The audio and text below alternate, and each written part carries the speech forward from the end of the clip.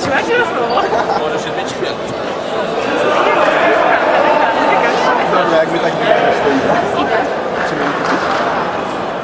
My jesteśmy za żółtymi jak coś.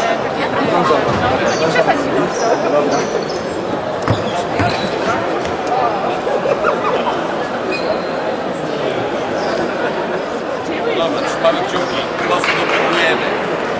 Piszemy jak mają niebiescy i klaszemy jak mają Przed nami walka numer 3. A jak ma ten zawodnik numer 7, to bardzo